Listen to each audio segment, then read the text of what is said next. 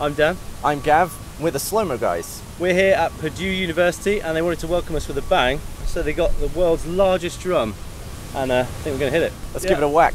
Let's go.